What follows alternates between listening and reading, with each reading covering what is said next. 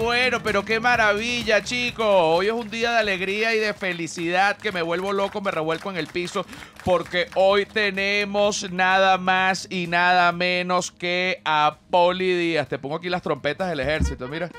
Te pongo las Eso. Aquí estamos, papá. Aquí estamos, Poli Díaz. Yo, mira, aquí la gente en, en Ciudad de México ya te dice la reina de TV Azteca. ¿Qué? Sí, sí, señor. Eres la reina de TV Ay. Azteca.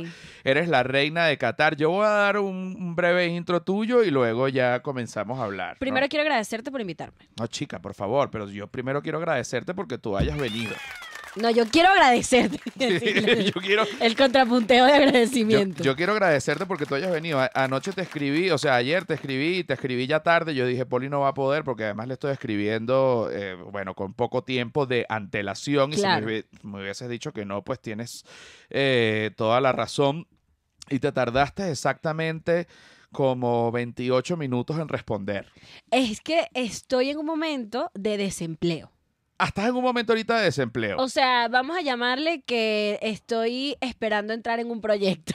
Ok, eso se llama el desempleo esperanzado. El, el- el desem- es que el desempleo freelance es así, como que hay una época en que estás en una maldita demencia. Y en una mamadera, no, no, digamos no mamadera en, en, en, en la parte sexual, sino en una mamadera de dinero. No, yo no estoy mamando, disculpa. Ahorita estás yo bien. estoy abundante. Ahorita estás abundante. Pero estoy con tiempo libre, entonces ayer me mandaste mensaje y yo no tengo absolutamente nada que hacer a las dos y media. Ahí voy a estar. No, pero me dijiste, espérate un momento para revisar el calendario, no vaya a ser que tenga unas juntas. Ah, sí, porque me ponen por ahí unas cositas y que mira, hay que vernos a las tres. Y yo, bueno, está bien. Ok, me imagino, ahorita que me dijiste que no estás en una mamadera, cosa que celebro, porque cuando uno está en una mamadera es eh, Una terrible, es una pesadilla, uno se siente mal, el autoestima baja, porque eh, también hay que aceptar que el dinero, cuando falta, te baja la autoestima. Sin duda alguna te pone en una en, en un lugar muy feo.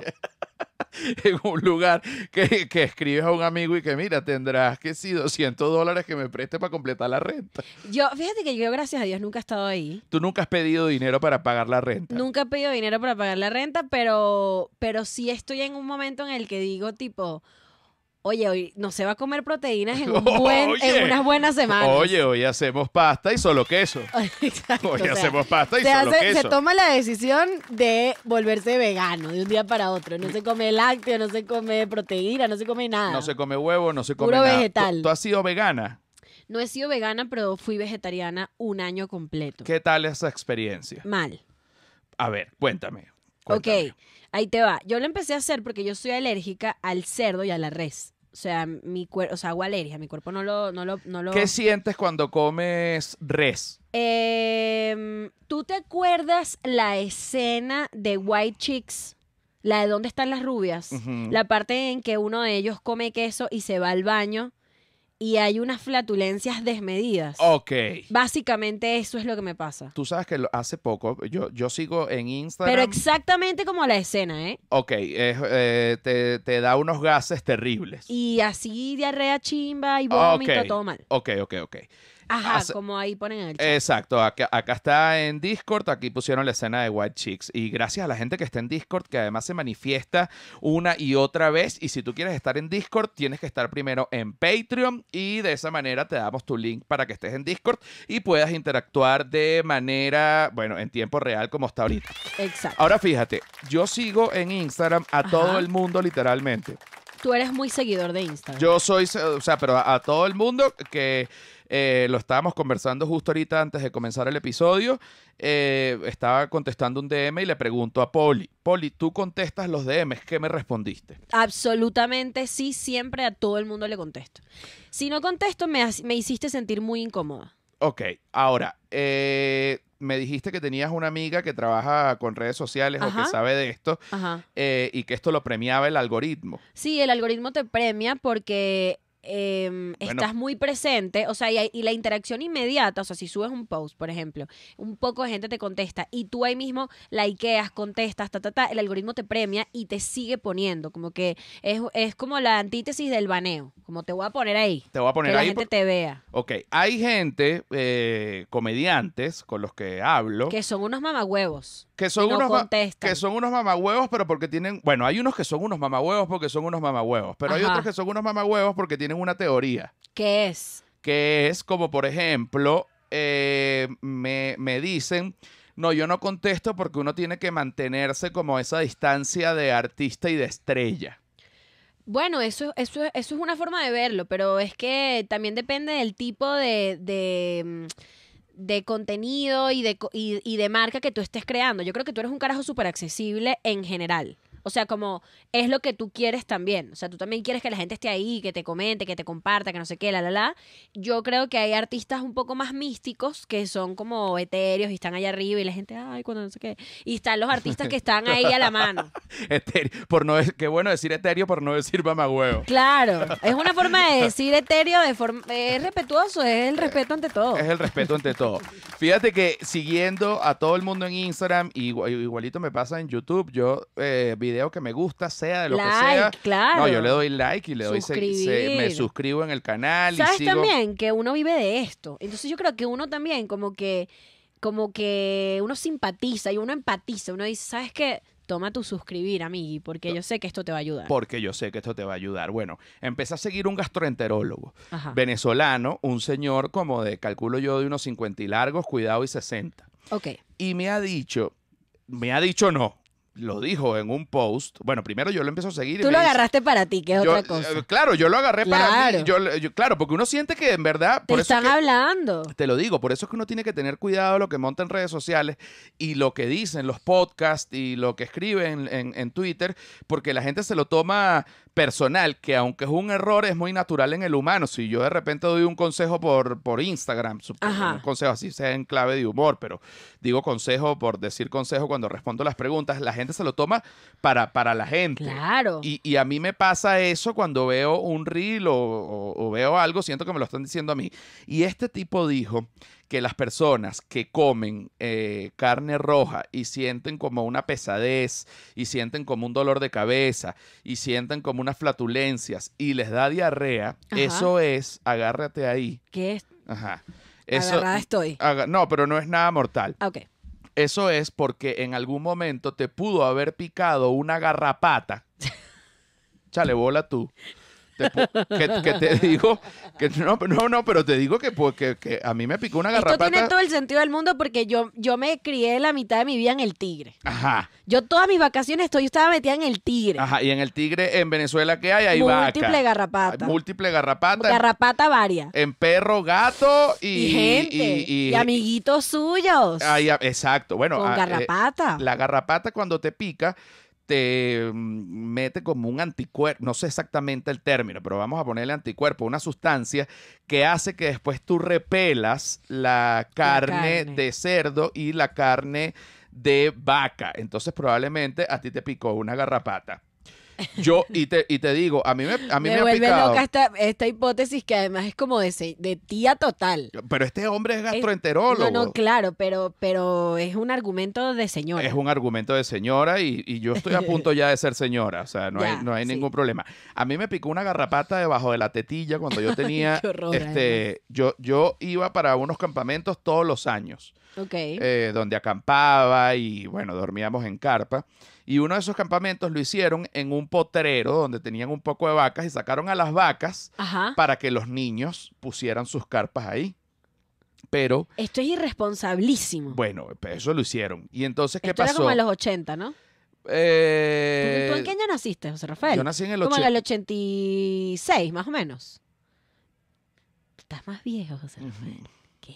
¿Qué edad, qué edad me calculas? Dime, yo no me ofendo. No, no es que te calculo, es que te conozco y puedo sacar cuentas.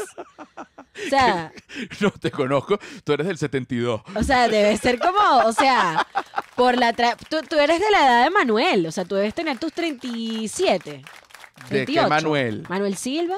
No, chicos, si Manuel Silva no tiene 37. Claro que sí, vale. Manuel también es un tío. No, no, no. ¿No? Manuel, te quiero mucho, perdón. Manuel está más tío de 37. ¿Qué edad tienes? Pero ya revela, parece 40 una vieja. años. Tú tienes 40 años, amigo. Tengo 40 años, amigo. Bien, bien, bien. Pero, pero están bien felicidades. llevados. Están súper bien llevados, Te ¿eh? lo, te lo digo, la gente me calcula 36. Nada más échate protector porque tú eres muy blanco. Oye, sí, y además me acaban de quitar unos lunares y me mandaron los lunares para biopsia. No tengo cáncer, señor. Pero fíjate que tienes excelente pelaje, ¿vale? tengo un pelaje excelente. Excelente. Eso ayuda, tengo ya canas en la barba, pero eso también ayuda porque eh, eh, he preguntado entre porque eres rubio. Porque soy rubio y no se nota tanto, pero también he notado que es sexy. ¿Qué? ¿La, la cana en la barba? La cana en la barba. Sí.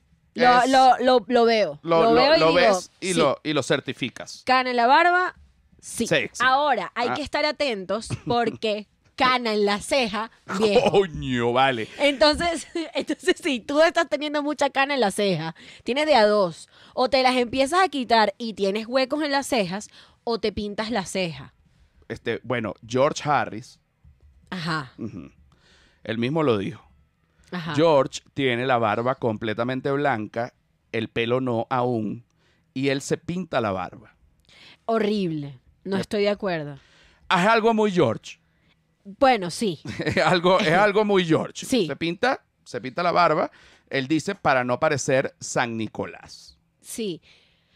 No sé, fíjate que no, no sé si estoy de acuerdo con la con barba pintada, porque tú sabes que he visto yo de las barbas pintadas. Raíz de barba. ¿Qué ra- Horrible. Coño, raíz de barba es terrible. Ra- raíz de barba es terrible. Yo lo presencié con un señor guapísimo que le di raíz de barba y yo dije, disculpa, no hagas esto. Porque no solamente que te ves mal, te, te percibes más viejo. No, y que el pelo de la barba crece mucho más rápido que el pelo de la cabeza. Y que, que ra- que es rarísimo porque es como un pelo Miley Cyrus. Es ¿Sabes que- que... Miley tiene ahorita la mitad de la cabeza La, negra la vi, la vi. y la otra mitad blanca? La barba Miley Cyrus. No estoy de acuerdo. No estoy de acuerdo, no está de acuerdo, Poli. Ahora, vuelvo a lo de la garrapata. Ajá. Para cerrar el tema de la garrapata. Ok. La garrapata me picó debajo de la tetilla. ¿Ok? Ok. Yo no me di cuenta de la garrapata porque eh, esto era un campamento donde había unas actividades y uno siempre andaba que si vamos, que me tiro para el río, que ahora una tirolina, que vamos a armar una fogata. Y entonces yo, y uno se baña poco ahí también. Este siempre fue mi sueño, ir a un campamento de niña. Pero mis papás eran, marico, eran pelabolas. Ah, yo pensaba que eran que eran celosos, como esos papás, y que no, que no vayas, porque van a venir otros niños a besarte. No, eran pelabolas y ya. Eran pelabos. No, este campamento que yo fui era barato. Fíjate que nos tiraron en un potrero. O sea, mi, mi papá también eran pelabolas, pero, pero este, bueno, me, me mandaron para este campamento. Ajá. Yo pasé cinco días en el campamento, porque era todos los carnavales. Y no te habías visto la garrapata ahí.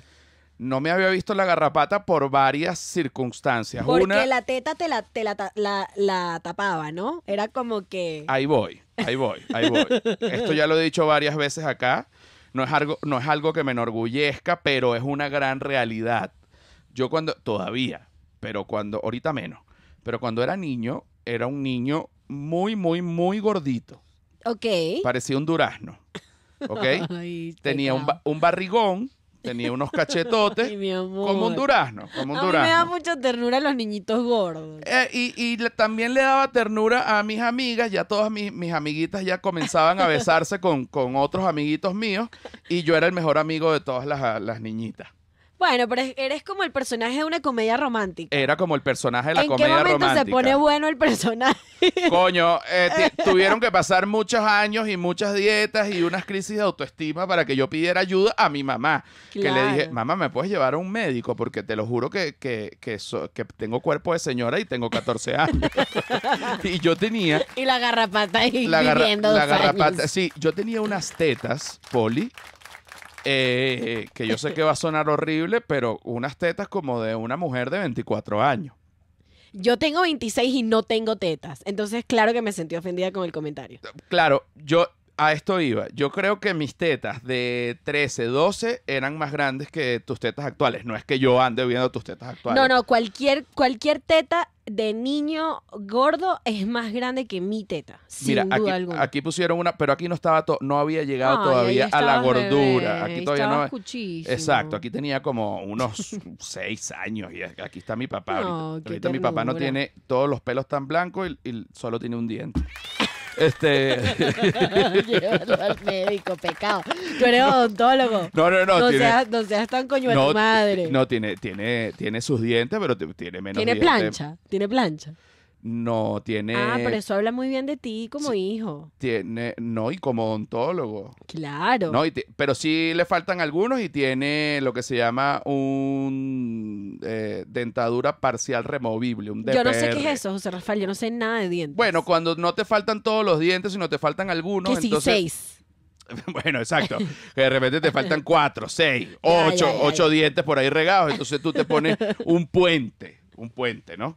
Eh, bueno, me pica esta garrapata y vivió debajo de mi seno de niño eh, aproximadamente cinco días y me di cuenta porque cuando llegué a la casa sentí que algo me picaba y cuando me toqué No. era mm, como un era estaba porque tú sabes que la garrapata es chiquita y cuando e- ella bebe sangre Se pone hor- grandísima. Ajá, Y, me se- la- y es horrible. Y, y la textura. Ay, no, no, no, esto me da demasiado asco. parecía una alcaparra o la aceituna. Una, o una A veces, porque a veces se ponen verdes más pequeña. y gordotas. era más pequeña. Entonces mi papá me la quitó. Un petit pois. era como un petit pois. Era como un petit pois. mi papá me la quitó. Yo papá tengo una garrapata mi papá bueno vamos a quitarte la garrapata me quitó la garrapata y eh, mi papá me enseñó algo que yo no sabía que ahorita está en YouTube. ¿Qué? que es una crueldad con la garrapata, pero como se trató de una garrapata, Que te hizo daño, además. que me hizo daño, me picó a mí. Eh, si tú agarras una garrapata y agarras una jeringa y una aguja de insulina, ¿verdad? Pero sin insulina, sino que la, la llenas con agua oxigenada. Ajá. O sea, es que la- la- el agua oxigenada y la sangre hacen como una espuma. Ok. Si tú inyectas la garrapata con agua oxigenada, se explota con un espumero. O sea, pero esto es garrapata tarantino. Hicimos la garrapata Tarantino porque mi papá dijo, ven para enseñarte algo. Pero Y esto es horrible. La inyectamos y ella explotó con mi sangre adentro, en, en su sistema digestivo. Fue cosas de, pa- de padre e hijo. ¿Y eso qué? ¿Y eso qué generó en ti a esa edad? Eso generó en mí que yo después quería inyectar a todos los insectos. Claro, es que eso, eso, eso puede pasar. Yo quería inyectar a todos los insectos, los grillos se me escondían, todos los insectos se escondían de la casa con agua oxigenada, pero no es lo mismo, porque obviamente se mueren cuando los inyectas, pero no explotan como cuando eh, tienen sangre por dentro. Sang- sangre wow, humana. no, esto es demasiada información. Yo no sabía esto. Sangre humana. Ahora, ahora fíjate, estábamos hablando también de que ahorita estás eh, eh, bollante, no estás en una pelazón de bola. Amén. eh, te que así sea. ¿Tú te viniste a México hace cuánto? Yo llegué a México hace cuatro años, cumplí la semana pasada cuatro años. ¿No te vas a hacer mexicana? Ya, sí, esta, este trimestre ya me toca, ya soy residente permanente. Yo también soy residente permanente. Eso, Ajá, ¿y ya presentaste el examen? Todavía no, me, ya me falta, eso es lo que me falta. ¿Cuándo lo vas a presentar? No sé, toca hablar ah, con esa gente a ver, eh, ¿puedo- ¿cuándo puedo presentar? Sacó, saqué 20 en el examen para que sepas. ¿Qué? ¿Y ya, te- ¿Y ya tienes tu pasaporte? No, todavía no, porque una vez que sacas el examen, que hoy fui a extranjería, por cierto, Ok. eh, una vez que saca, que, bueno, llevas una carpeta de documentos súper extensa que demuestran que tú has vivido aquí, a qué te Ajá. dedicas, todo esto, tu dirección, etcétera. Teléfono, entre otras cosas. Eh, y luego que llevas esa carpeta, ahí mismo haces el examen. ok. Ese examen es una computadora. Ok. Tú estás de pie. Yo juraba que me iban a poner así como en unos pupitres. Estás equivocada. Sí, sí, sí, yo me lo imaginé así. Ajá. Y viendo a los lados cagados. Ajá, no. Eso es una computadora, está todo el mundo sentado y van llamando uno por uno. Una computadora. Entonces dice, eh, Me dio como asco que fuera una sola computadora. Como que quise hacer así ch, ch, ch, y pasar sí, un trapito. está ahí. La computadora tiene su teclado y un mouse. Y de repente dicen, Díaz Poli. Paula. Bueno, pero Poli. Ok. Dí- Díaz Poli. Y entonces Poli se para. Poli va a la computadora. Yo juraba que iban a llenar una planilla. No, señor. No. te va. voltean la pantalla hacia ti y dice, ¿usted está listo para hacer el examen? Sí, ¿a dónde me dirijo? A ningún lado. Aquí. Aquí, Aquí, mismo es. delante de mí, delante de la gente. Pero dime una cosa.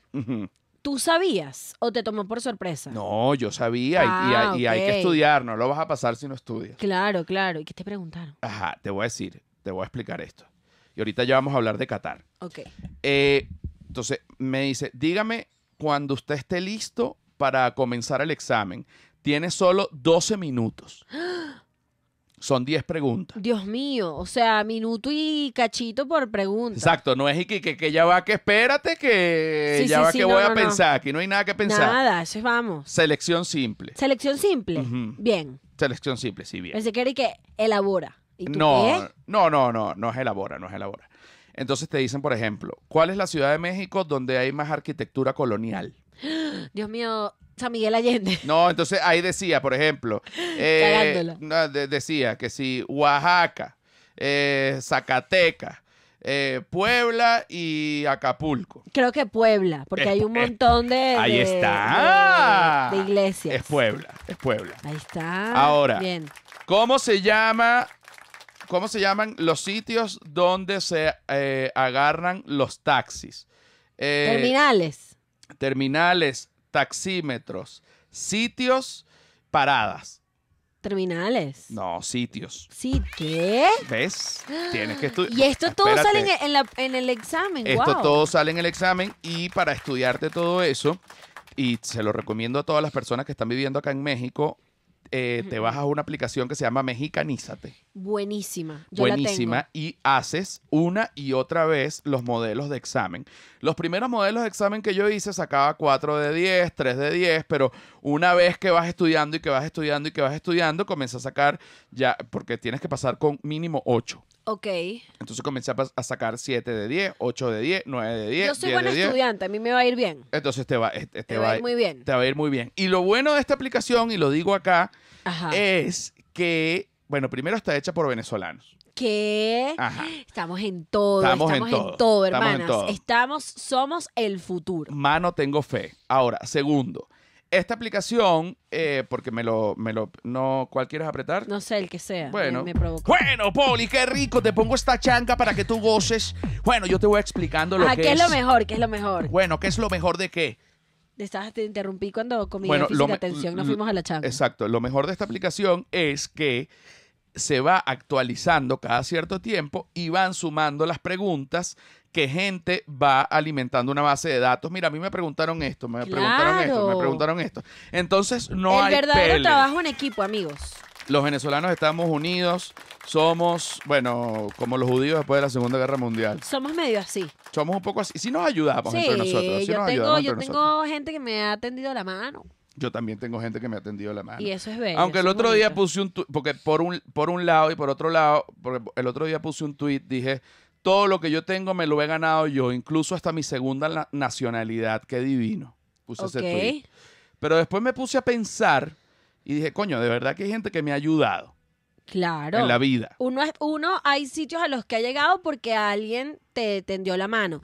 No te regaló la oportunidad, no, te puso ahí, ahí te pusiste tú porque también llegaste a, a- a los oídos de esa persona o a los ojos de esa persona por tu chamba, pero siempre hay gente que hace el camino como un poquito más corto. Y una vez que, que esa persona te dio la oportunidad, tú no la desperdiciaste, sino que ahí- Correcto, tú le hiciste bien y entonces le sacaste provecho. Exacto. Ahora, hablando de oportunidades. Ajá.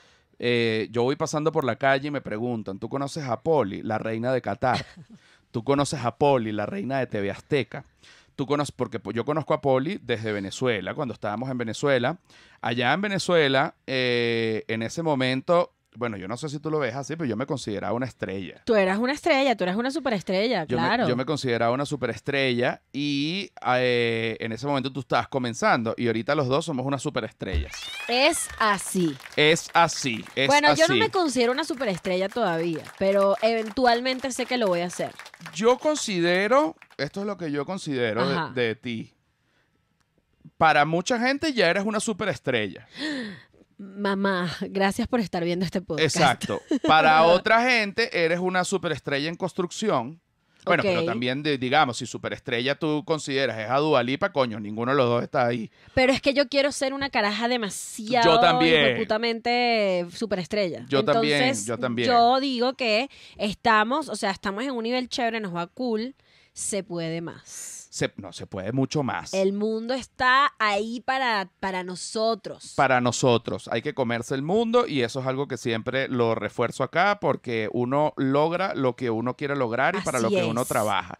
Sobre todo para lo que uno trabaja y como uno ve la vida, que es también importantísimo porque si uno siente que no va a lograr algo, de verdad no lo vas a lograr, no Sí, porque es- no puedas. sí, sino es muy porque- arrecha la mente. Ok, es muy arrecha la mente. De la mente parte todo y depende todo. Ok, tú te viniste para acá, para México, porque... ¿Por qué?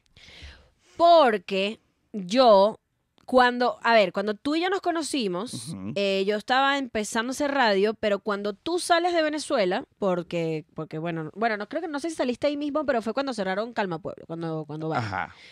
En ese momento yo tenía 21 años.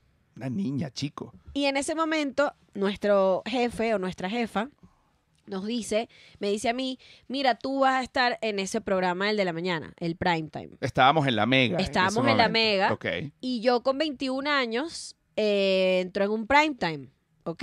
Y entonces ese último año yo decía, coño, qué bolas que cuando yo estaba chamita, pero chamita muy bebé, o sea, yo escucho radios de que estoy bebé y a los 10 años yo dije así, yo dije a los 10 años yo quiero ser como Erika de la Vega y quiero tener un programa a las 6 de la mañana, porque era lo que yo escuchaba todas las mañanas.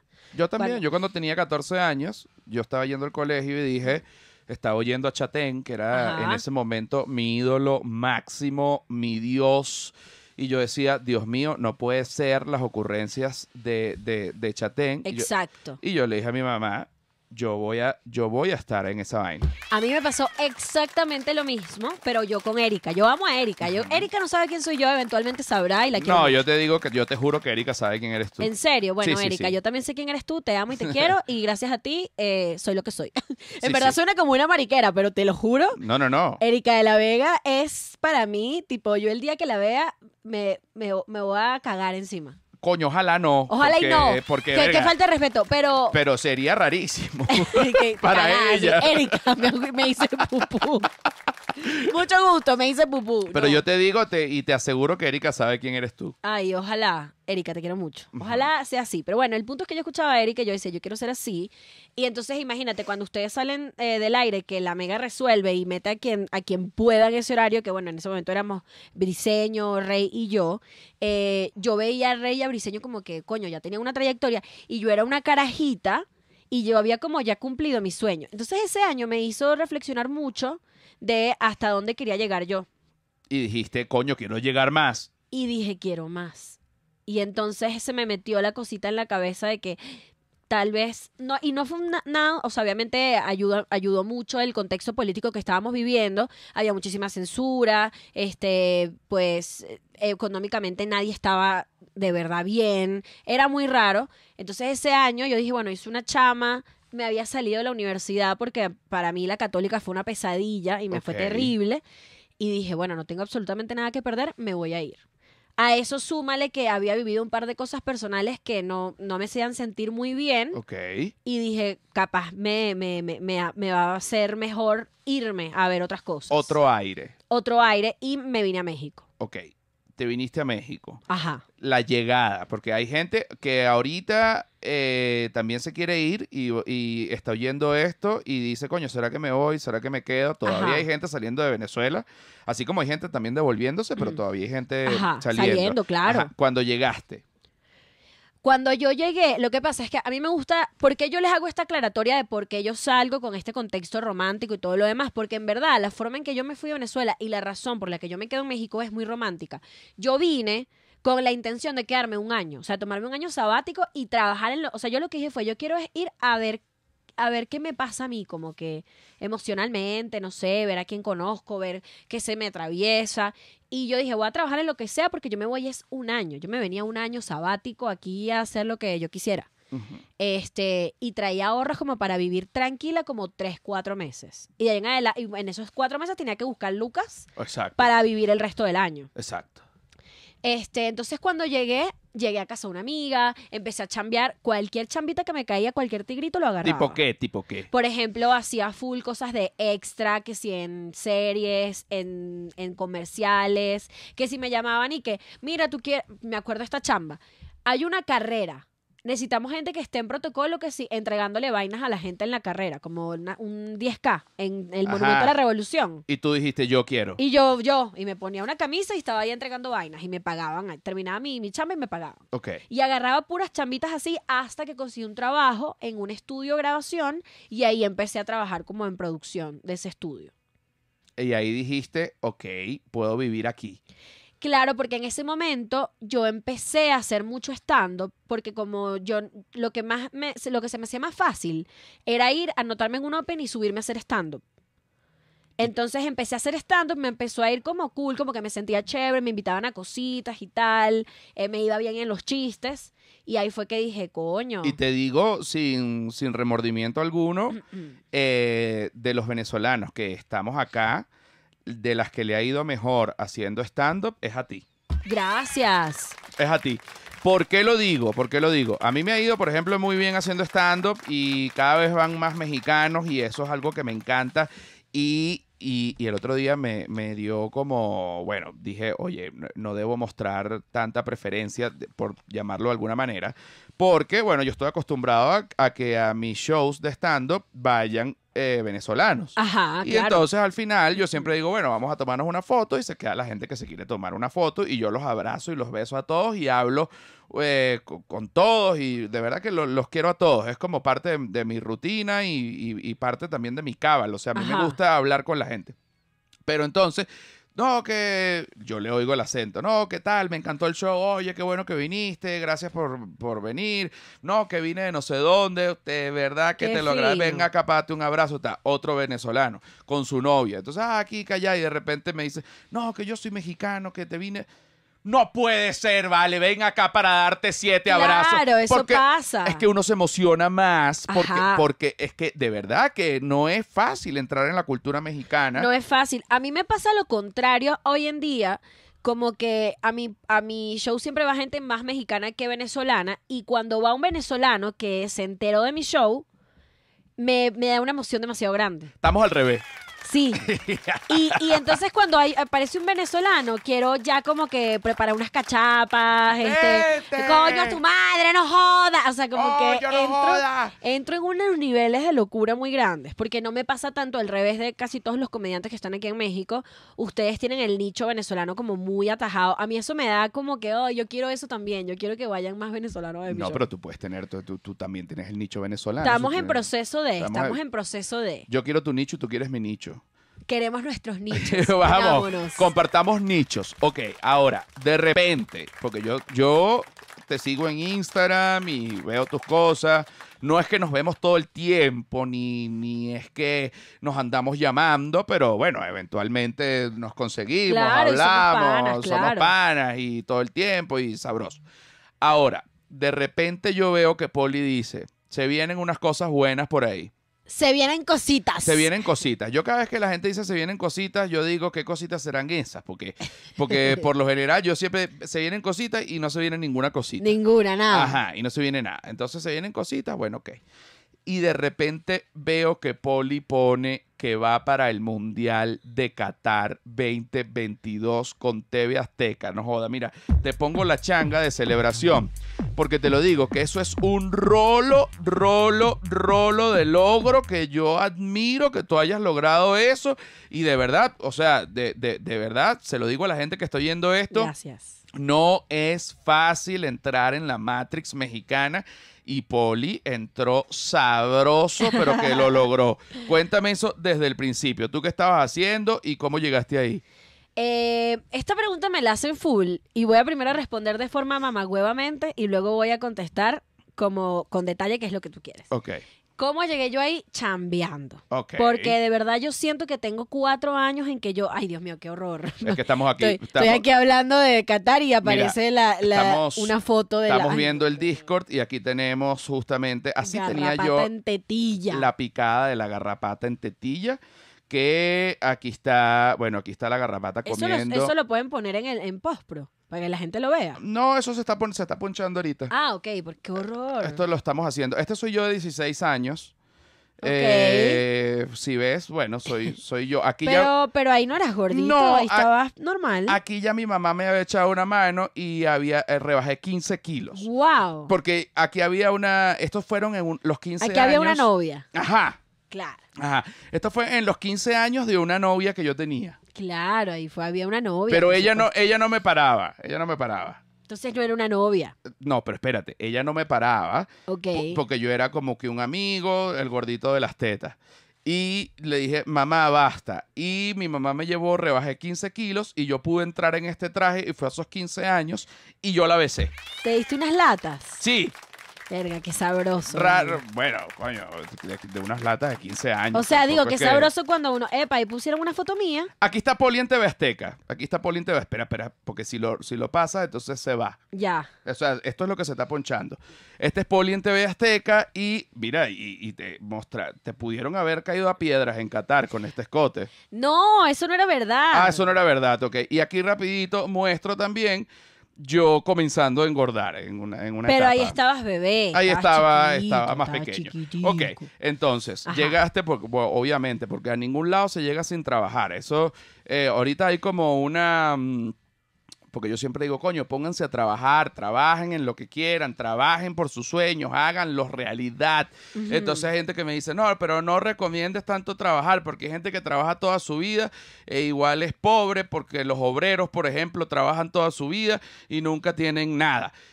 Ok, es verdad. Sí, hay Pero contextos. hay contextos. Sí. Pero, pero lo que sí te digo, lo que sí te digo, es que si tú no trabajas por tus sueños, coño, no van a pasar. O sea, hay que trabajar para que las cosas pasen, porque que- si no, no van a pasar. Lo que yo creo con, con chambas como por ejemplo la de Qatar es que llega un punto en que tú empiezas a, a- bueno, en el caso de los artistas, tú empiezas a, a- a tener presencia en espacios que de cierta manera te ponen en conversaciones. O sea, empiezas a aparecer en conversaciones. Creo que fue lo que pasó en mi caso.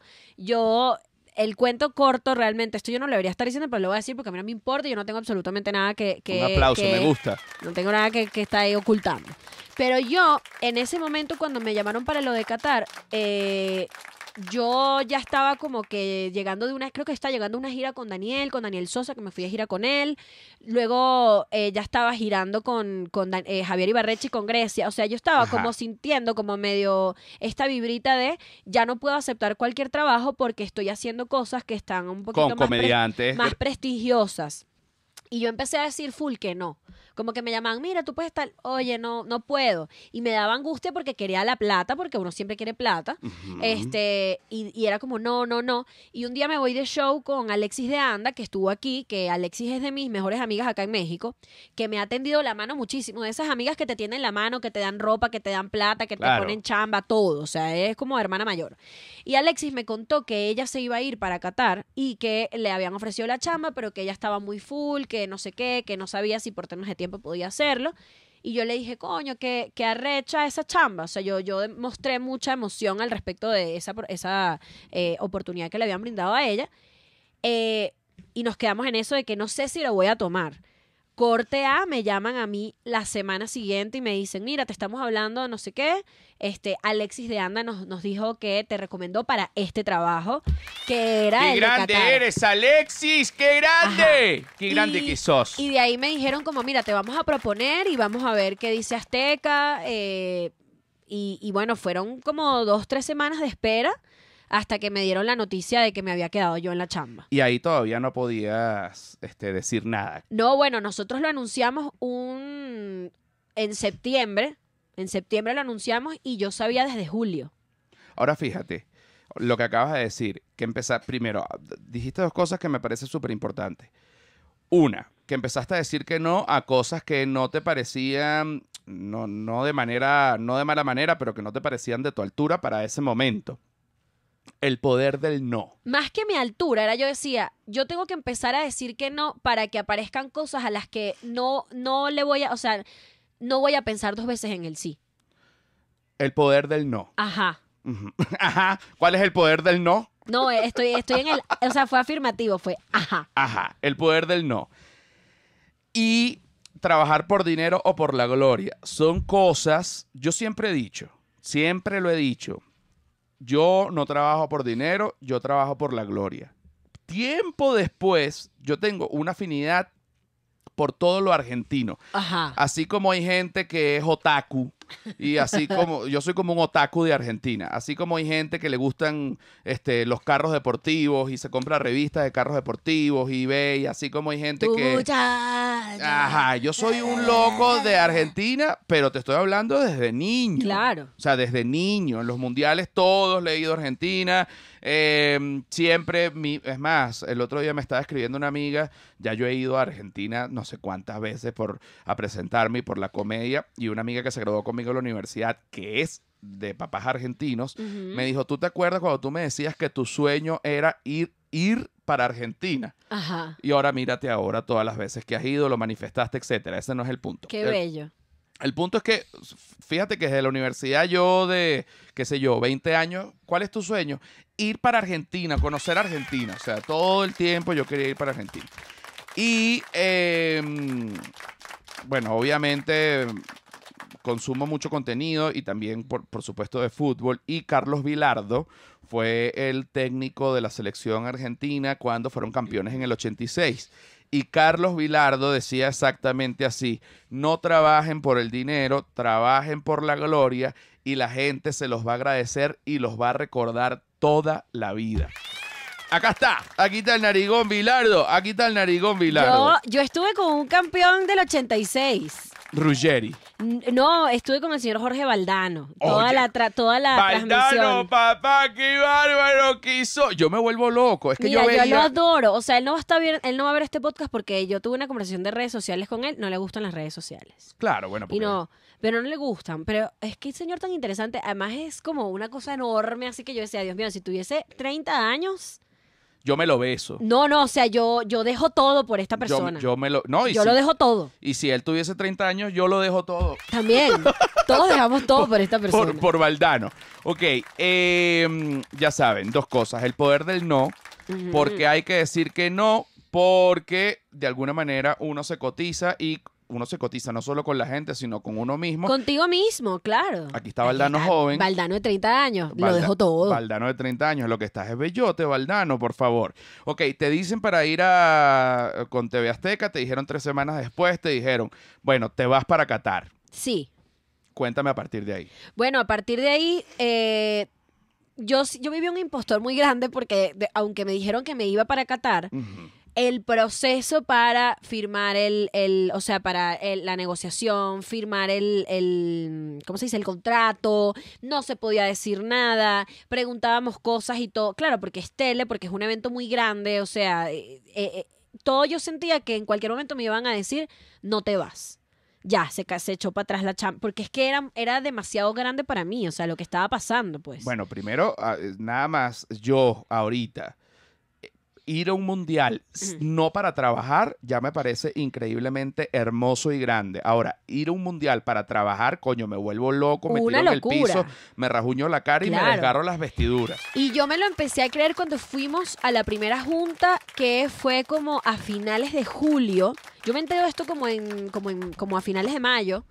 Eh, y fue junio y julio de, ay Dios mío, en cualquier momento se cae, en cualquier momento se cae, en cualquier momento se cae. Finales de julio vamos a la primera junta y de en adelante teníamos juntas semanales para, para saber cosas de contenido. Teníamos, todos teníamos un equipo de escritores que nos estaban apoyando como con las ideas que teníamos. Sabíamos que llegando a Qatar podíamos descartar hasta el 70% del contenido que llevábamos pre- prescrito, porque llegando allá es que realmente sabíamos todo, o sea, cómo se movía el país, qué tipo de mundial era, cuántas personas iba a haber, cuál, o sea, es, es, es- una, es un, un evento muy impredecible para crear. Entonces, realmente, aunque hicimos una, una preproducción muy heavy, de mucho tiempo, cuando llegamos allá es que realmente podíamos saber qué era lo que íbamos a hacer. Y que mira, todo esto que nos escribieron, por favor, votenlo, que nada sirve porque Bueno, es tú que lo acá es distinto. Tú lo irás en joda, pero Daniel, Daniel Sosa y yo creo que el 70 o si no el 80% de lo que habíamos llevado pensado hacer no se hizo e hicimos otras cosas. Ok, llegaste a, a cuando, bueno, hiciste un viaje larguísimo, porque obviamente de Ciudad de México a Qatar es larguísimo.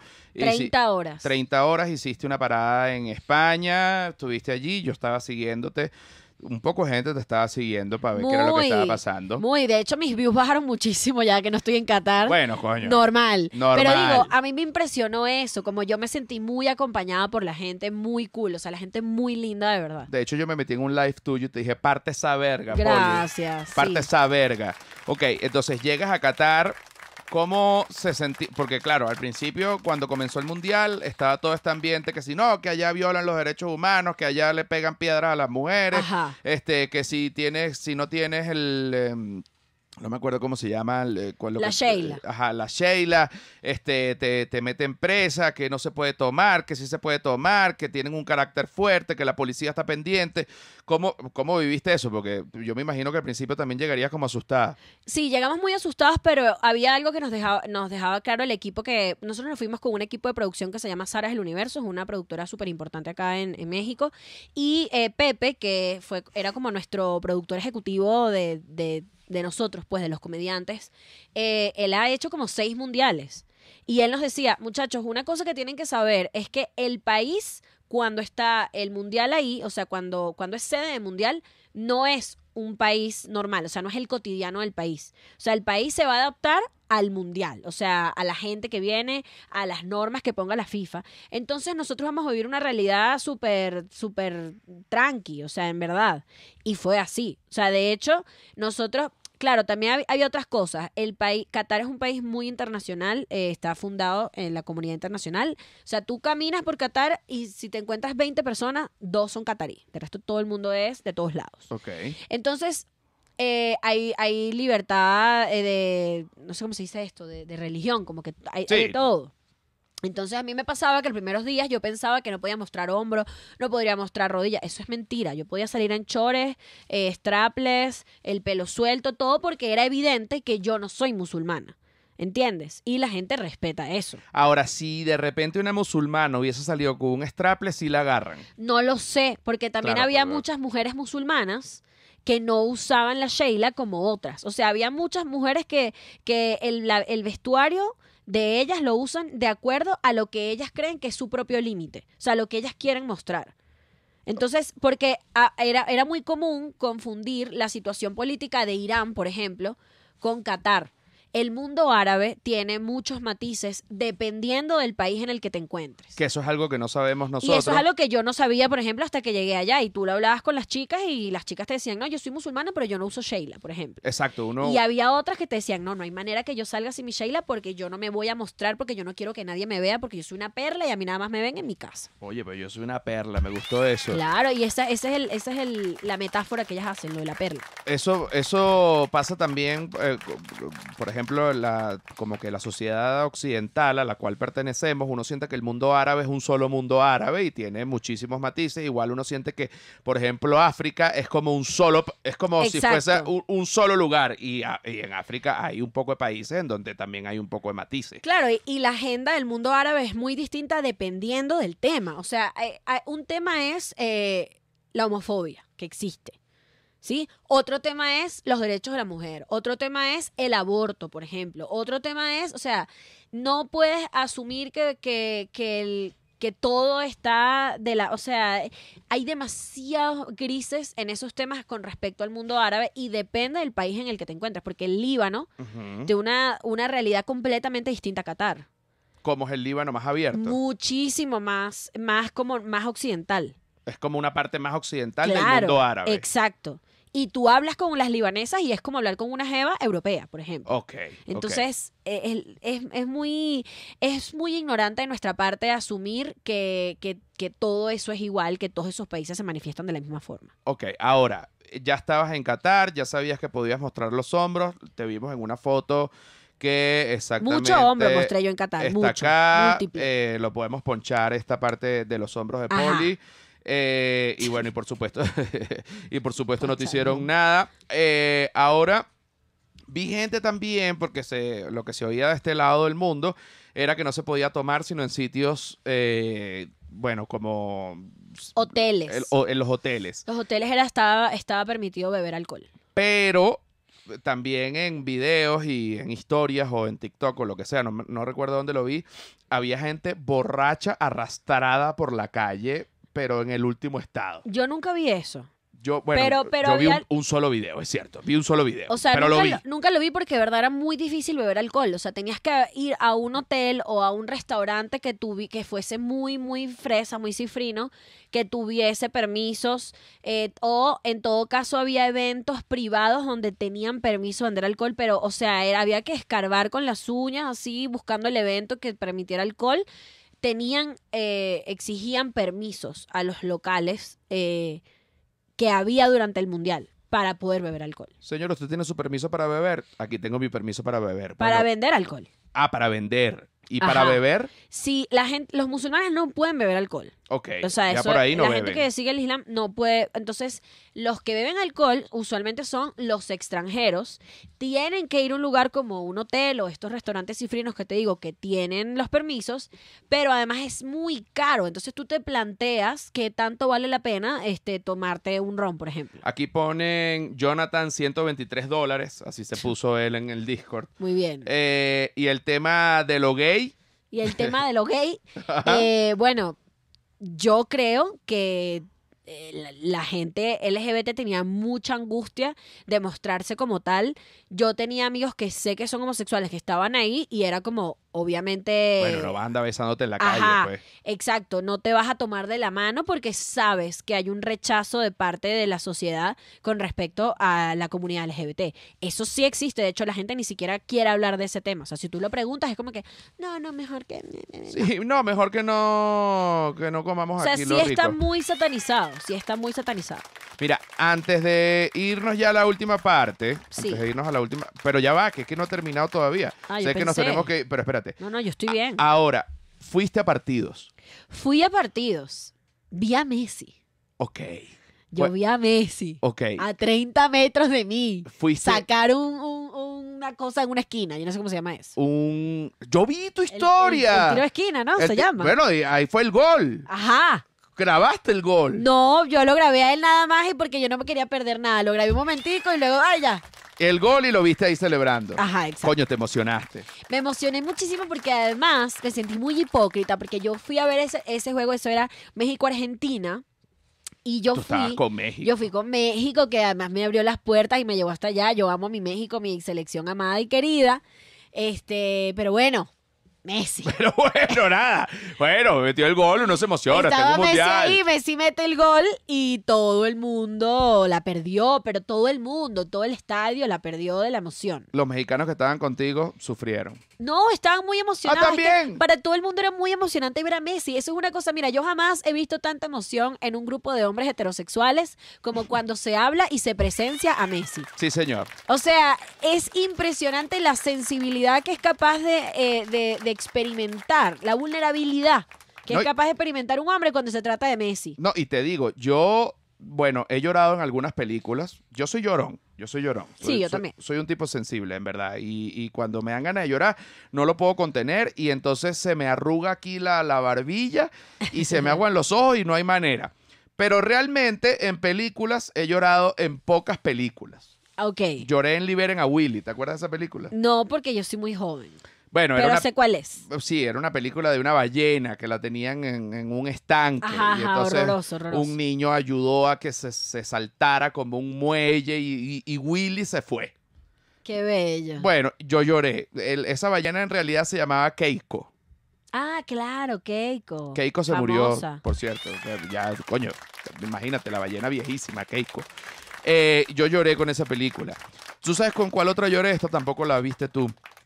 Querida encogía a los niños. Sí la vi, ¿Sí la viste? sí la vi. ¿Te acuerdas de la parte de la hormiga?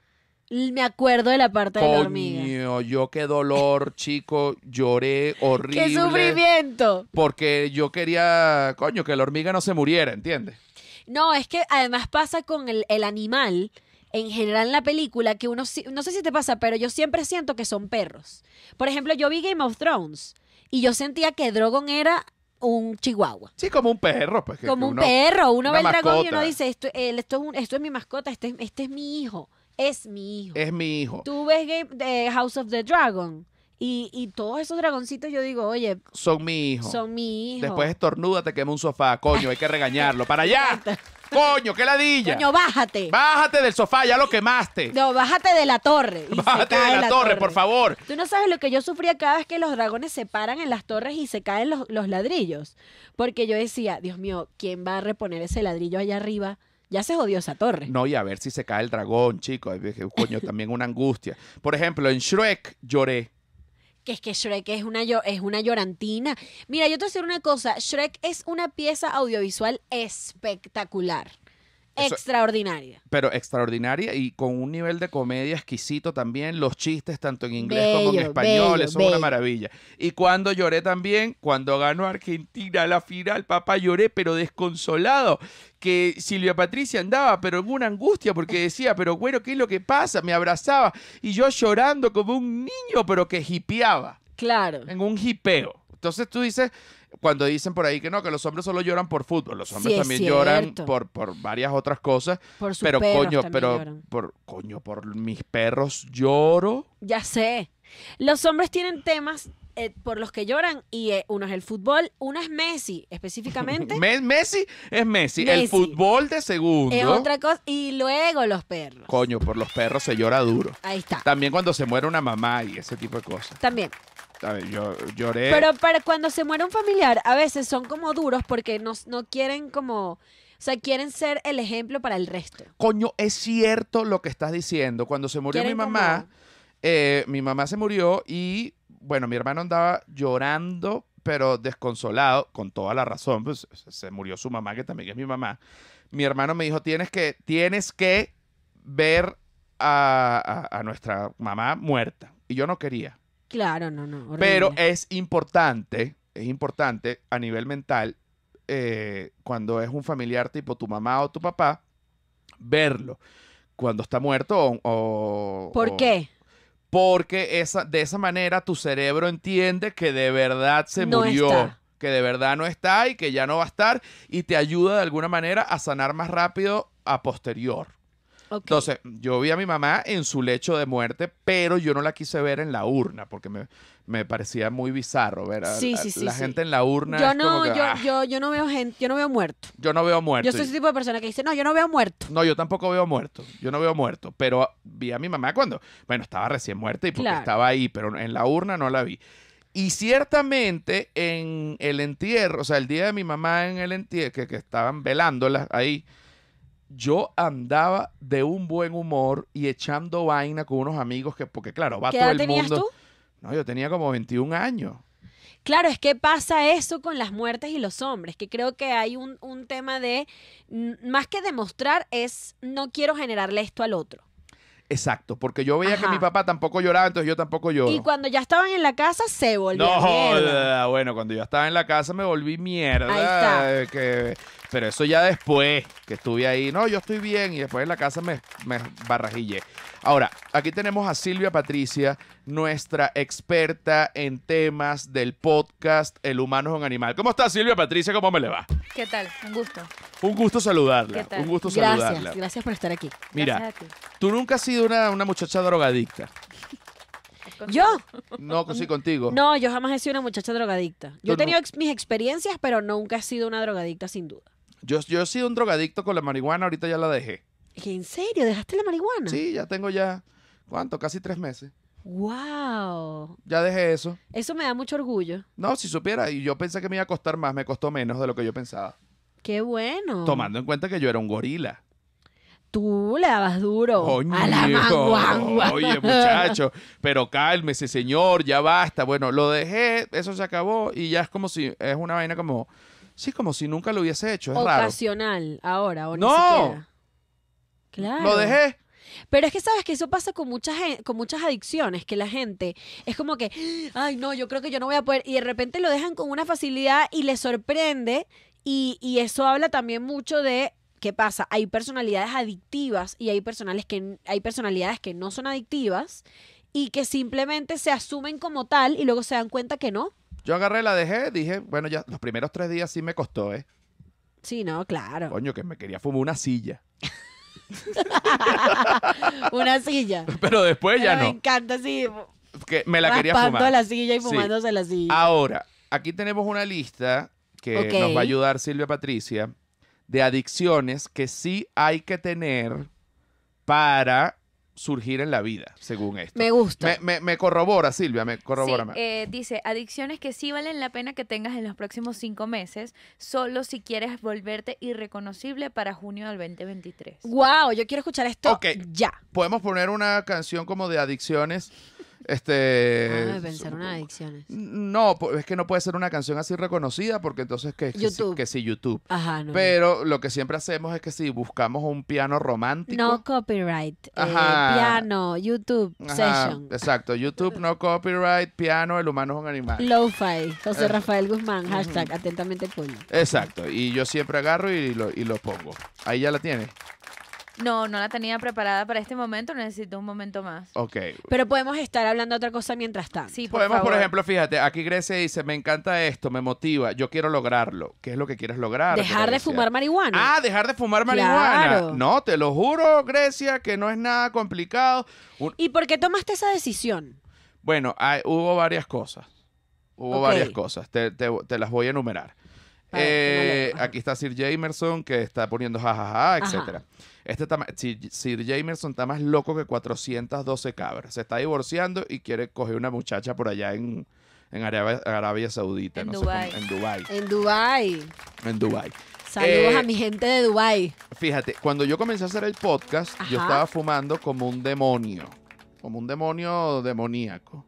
Y los episodios duraban como media hora, porque de verdad la cabeza no me daba más. Y yo estaba engañado con que la marihuana era un, mm, como que un catalizador de la creatividad, cosa que en ocasiones sí es así si no eres un consumidor habitual y si no fumas como un gorila desde la mañana, porque es que sencillamente se te quema el cerebro.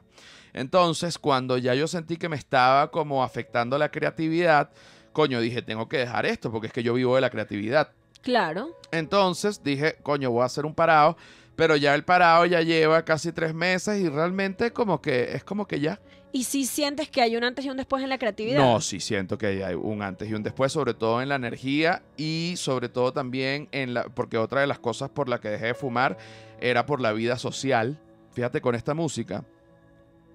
Súbele un poco más. Está hermosa esta música. Me, tra- me dio unos niveles de, de reflexión. de reflexión. Dije, estoy perdiendo mi vida social. He perdido demasiados amigos por la marihuana. Te voy a explicar por qué. No porque pelease con ellos. ¿Qué coño está? Mira, me está llamando justamente una amiga de España que se llama Jocelyn. Le, le- escribo después. Me provoca atenderle, pero es que coño habla mucho. Este. y tú no, ¿oíste? No, yo hablo mucho, pero coño, en este caso. Estás trabajando, estás traba- trabajando, estás haciendo la chamba. No, y es que ella eh, eh, trabaja en, en la Universidad de Navarra. ¿No? Ajá.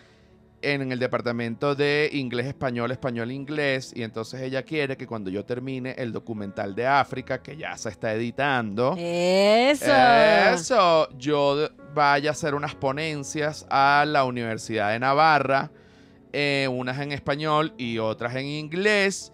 Y para eso tengo que llenar, que yo le dije que sí, que, que me, que me encanta, sí y solo sí, yo eh, pueda tener algún aval de la Universidad de Navarra, que realmente a mí eso no me sirve nada, pero a mí me importa mucho. Claro, eso siempre es imp- tener avales y tener papeles que dicen que eres importante Sí. es bueno. Una cosa Siempre. que diga, si este señor hizo una Lo ponencia hizo. en la Universidad de Navarra. No basta con poner un post de Instagram. Exacto. Necesitamos un papel, un mail y un PDF que diga que uno estuvo ahí. Pero bueno, como todo en una universidad, para... po- po- bueno, Burocracia. ajá, burocracia. y ella me está llamando para decirme todo ese poco de cosas. Ahorita Pero, le mando un mensaje a Joss. Ahorita le mando un mensaje a yo, un mensaje a ok.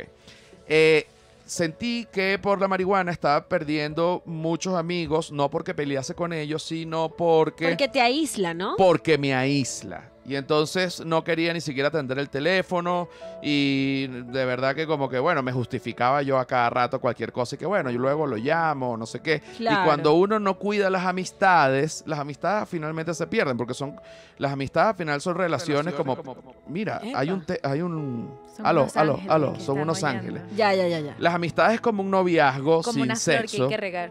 como una en flor. verdad sí, o sea, yo también, yo también me, me- me he hecho esa pregunta con amigos que, que con los que ya no soy tan unida y hago cada tanto como un recuento de qué tengo que hacer yo para, vol- o sea, para tener a esta persona más cerca. Usualmente, eh, si hago algo y no, y, y no recibo nada a cambio, pues los mando para el coño. Pero, pero primero hago un esfuerzo. Aquí dice, pero si la marihuana une, es cierto que en Taurus la marihuana une, pero solo une con la gente que también fuma marihuana. Exacto, entre marihuaneros se une, pero es cierto que el marihuanero y no marihuanero le cuesta mucho hacer bond, le cuesta mucho. Cuando estaba fumando, o sea, yo te- tengo amigos marihuaneros y no marihuaneros, y ahorita que, ahorita mis amigos que son marihuaneros, ellos sufren mucho porque todavía cuando me llaman, mira, vamos a vernos y nos fumamos un porro, yo, ah, dale, y yo voy y no fumo, ellos quedan como que, oye, y, yo, y yo digo como que, pero no te preocupes, yo soy el mismo, aquí estoy, es más, estoy más rápido, te hago reír más, todo, está perfecto. Pero el que fuma marihuana quiere que el otro fume marihuana y el que no fuma marihuana quiere que el otro no fume Claro, marihuana. claro. ¿Sabes cómo es? Pero yo realmente no tengo problema con el tema de la marihuana, fu- fumen o no fumen, porque yo he fumado como un animal y ahorita no fumo. Y X, o sea, Todo todo, bien. Todo bien, Yo todo soy bien. así, a mí me da igual. Tú con tu cerebro lo que tú quieras. Si tú quieres ahí restarte neuronas, that's on you, that's on you. Imagínate todas las que maté. Tú mataste mucha neurona, amigui, pero lo bueno súbale, es que... súmele, súbale, súbale, porque vamos a hablar de las neuronas muertas. Ahí están muertas. Ahí están, fallecidas. Ahí están en mi cabeza muertas. Qué fuerte pensar en que, que tu cabeza hay un montón de neuronas así. De bola, porque no la va a botar. ¿A dónde uno- van a ir? Unos cadáveres de neuronas ahí. Están muertas. Y las que están vivas ahí viéndolas. Tan secas Oye. esas. Tengo un cementerio de neuronas en la cabeza. Y la gente que toma más se Un muere. mausoleo. El mausoleo de El neuronas. mausoleo de las neuronas muertas. La gente que toma se le mueren más neuronas. Que bebe. O sea, Pero es que las neuronas mueren todo el tiempo. Por ejemplo, Exacto. Einstein decía, no, yo me- uso la ropa, la misma ropa siempre porque escoger qué ropa me voy a poner me mata neuronas. Yo también tengo entonces el No, bueno, mausoleo. no, Yo bueno. tengo la, la- mira, la cantidad, el cementerio del este de las neuronas aquí. Cada vez que escojo qué me voy a poner. En ese sentido, sí, yo uso el mismo pantalón, los mismos zapatos y lo que varío es la franela o el suéter. Claro, así son los comediantes. Bueno, ajá, entonces. así Oye, son. pero me combino. Me gusta combinarme. No, bien, pero mira, si yo agarro a todos los comediantes y hacemos una plantilla de cómo se visten, tú dices, mira, pero hay creatividad, pero no hay ganas. no Oye, hay pero- ganas pero de más. Quítate la franelita negra y ya. Exacto. Yo, yo te, bueno, me puse este suétercito. El jean, la franelita negra y los, y los Air Max, ya. ya, ya está. y ya fue. Y ya- bueno, yo tengo los Tú New Stan Balance. Smith. Tú eres New Balance. No, yo soy Adidas. Tú eres Adidas. Yo soy Adidas. Pero sí, pero va por ahí. Ok, ahora vamos a ver las adicciones que tienes que seguir, Paula Díaz, para que en julio del 2023 seas una persona irreconocible. Estoy lista para ser irreconocible. Ok. Bueno, la primera es despertarse temprano. No tiene que ser a las 5 de la mañana, solo asegúrate que sea antes de las 9 de la mañana. Fuck. Despertarte temprano quiere decir que estás listo antes que el 99% de la población. Tendrás más tiempo para ejercitarte, para planear tu día y trabajar en tu negocio. Es una gran ventaja. ¿Tú te paras temprano? Yo me paro temprano. ¿A qué hora? Me paro entre 7 y 8. O sea, Verga. antes de las 7, o sea, antes de las 7 ya sé que es de día y ya sé que me tengo que parar. Eh, suena, no, yo no, mi alarma está a 10 para las 9, pero es una alarma referencial, no para levantarme. Es como para que sepas qué hora es. Yo hago eso. Exacto, yo tengo es una para alarma. que suene y tú dices, coño, son las ocho y media. Ah, son las 8, yo la pongo, la puse a las 8.50, no sé por qué carajo. No, está bien, porque a la- las nueve es como una hora importante del día, las Ajá. nueve de la mañana. O sea, si tú a las 9, Las ocho es como X. las 8 todavía entra como que tú estás ahí Nah. preparándote. Pero ya de las 9 para adelante ya no hay tu tía. De las 9 para adelante hay que darle. Verga, yo me paro tarde, amigos. Yo me paro ¿A qué- a tarde. qué- pero a qué hora te acuestas? Yo, yo me acuesto tarde también. Y Pero ese, es que yo duermo full. Es que ese es el tema, que yo duermo bastante. coño, eso se te va a ir quitando con, con el tiempo. ¿Qué edad tienes tú ahorita? 26. No jodas, chica. Cumplo 27 en un no mes. joda, por favor.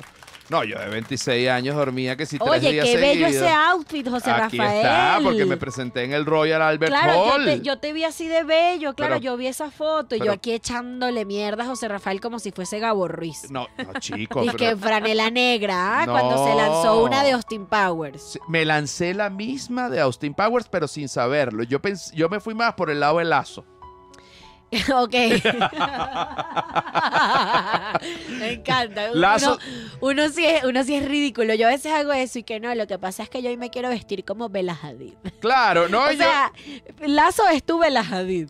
No, o sea, es de, coño, Lazo se pone una ropa que yo, verga, no, no, no puedo, es que sencillamente no puedo ponerme porque no. Físicamente imposible. No, Eh, lo que pasa es que yo tengo la teoría de que la gente que es bella se puede poner lo que quiera. Y yo creo a veces que Lazo entra un poquito ahí. Él sabe que es bello, se pone ciertas cosas, pero que si tú luego quitas esa ropa y la pones en un, en, en un gancho, tú dices, oye, pero qué Coño, falta de respeto ajá, este outfit. Pero fíjate que aquí es en esta, horroroso. en esta foto que, que yo, yo usé, me, me, me inspiré Ajá. en un poco en Lazo, en el suéter cuello tortuga, pero no me iba a poner un traje floreado, por ejemplo. No, no, no. Ni me iba a poner unos anillos. No, pero está muy bello, me gusta, está muy Austin Powers. Exacto, es mi estilo. Es como mi, Sí. mi estilo para Londres. Me encanta, Ahí estoy está. muy orgullosa de ti. Ahí está, ahí está. bueno, me ya gusta. sabemos que esto es algo que tengo que mejorar. ¿Cuál es la siguiente? La siguiente es, escribe tus pensamientos antes de ir a dormir. Tener un diario no es solo para mujeres. Descarga tu mente antes de ir a dormir. Mejorará la calidad de sueño expon- exponencialmente. Este es el tipo de cosas que puedes escribir.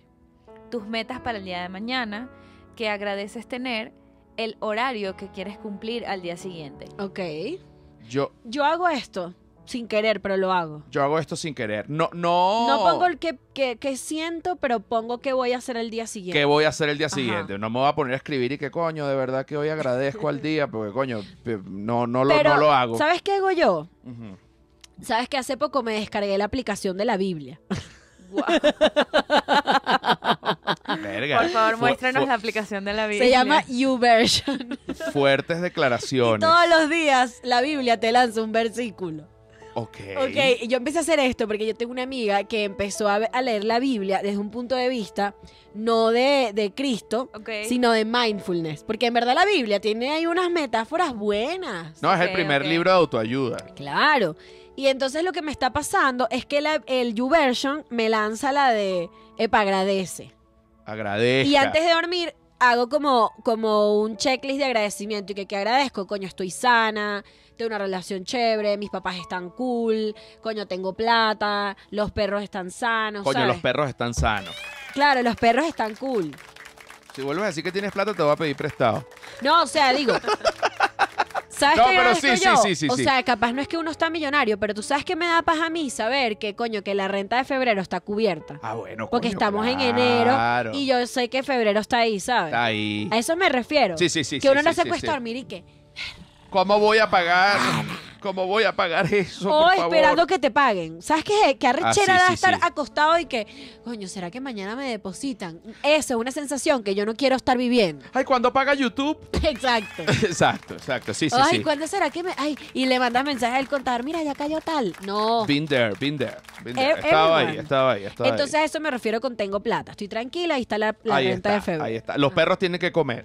Claro, y los perros comen lata además. No, claro, bueno, los comen míos. lata digestiva, los, míos. Los míos comen costillas. Barf. ¿Tú haces Mm, barf? Pero cocinada. bueno. Ajá, entonces ¿cuál es la tercera? Aprender algo relevante con lo que se está viviendo hoy. Si no te da el dinero, te da de qué hablar. Basta con que con dedicarle 30 minutos al día. Si no se te ocurre nada, te dejo un par de opciones. Apps, aprende los principios de la creación de aplicaciones. Todo sobre YouTube y cómo usarlo para ganar dinero. Marketing digital y edición de videos e imágenes. Exacto. Fíjate que co- coincidió. Yo creo que sí, estoy en aprendizaje constante. nosotros siempre estamos en ese aprendizaje porque ni modo. ¿A ti te pasa que tienes proyectos? O sea, yo me lanzo este rollo y que voy a hacer una caja. ¿Y que por qué? Porque lo vi en TikTok y dije, coño, yo también puedo hacer esa caja. No, bueno, pero, pero por supuesto. O sea, Y, yo. y que sí, ajá, manualidades. No, yo me invento. Yo de repente veo que si hay un guacal allá en la casa, donde tenemos unas matas, entonces yo digo. Hoy lo vi, por ejemplo, dije, oye, se está pudriendo el guacal, está doblado. Entonces digo, Lo voy a acomodar. el fin de semana le voy a echar una limpiada a ese guacal y lo, y lo, y lo acomodo y le pego unos clavos en esta esquina para que no se me doble el guacal. Exacto. Y luego agarras y googleas cómo hacer el guacal y entonces estás aprendiendo algo. Ahí estoy, ahí voy bien. Muy bien, Ajá. Muy bien. La próxima, bueno, es el ejercicio que se recomienda en 30 minutos al día, que seguro eh, eventualmente llegarás a la hora. Mente sana, cuerpo sano, cuerpo sano, mente sana. Los ejercicios que dan resultados más rápidos son correr, nadar y levantar pesas. Ok, son los tres ejercicios que hago cuando hago ejercicio, entonces está perfecto. Ahí está. Y ahorita eh, estamos Tú montas haciendo... bici, ¿no? Sí, y, y estamos haciendo tres días de ejercicio, Silvia y yo, Muy bien. Sí. con estamos una, haciendo- con una entrenadora. ¿Pero presencial o Presencial, para que llegue a la casa y no haya manera. ¿Y dónde es esto? En la casa. en la no, casa, el en, roof. en el Ella va. Ella Ella va.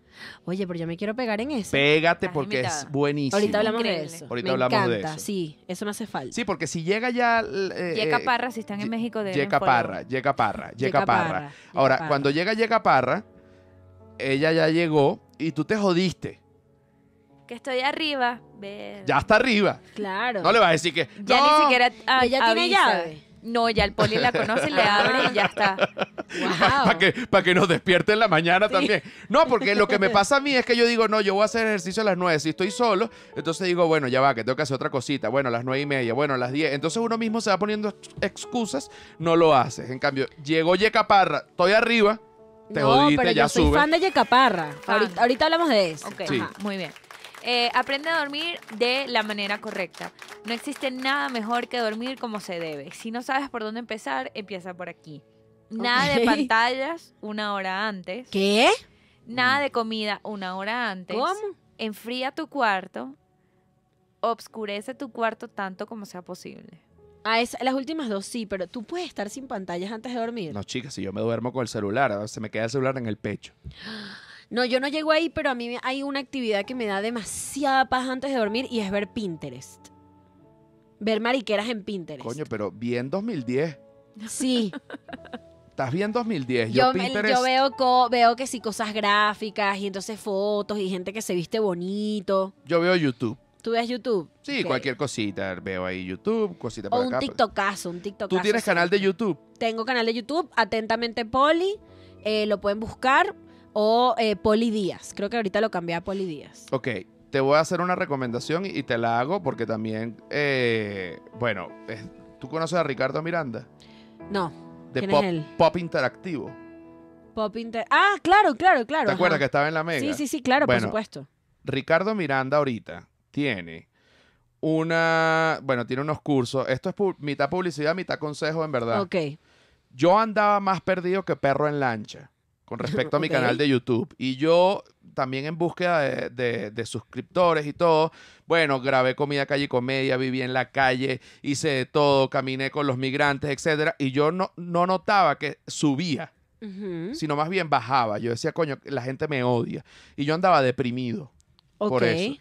Y un día La estaba... validación es importante, muchachos. Sí, la validación es importante porque yo veía... Valídennos, síganos. no subía, de verdad que no subía, no subía todo el mundo con las placas de YouTube y yo decía, pero coño, ¿qué pasa? O sea, la gente me odia. Nunca pensé en retirarme, pero definitivamente, coño, me, me generaba mucha tristeza.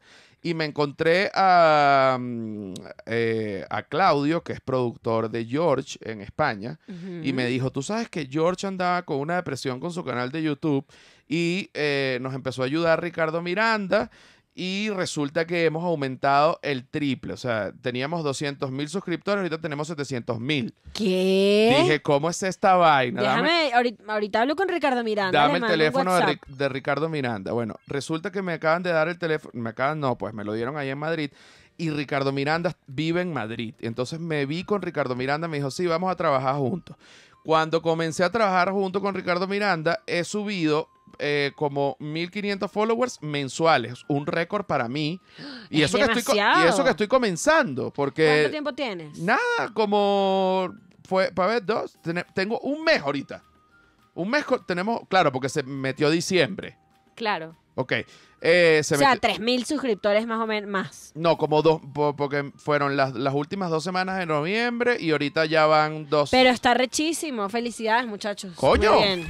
Y entonces, porque además no es que tú te metes para que Ricardo Miranda te haga un milagro, sino que Ricardo Miranda tiene unos Te cursos y, unas, enseña. y unas, co- unas cosas que nosotros hicimos.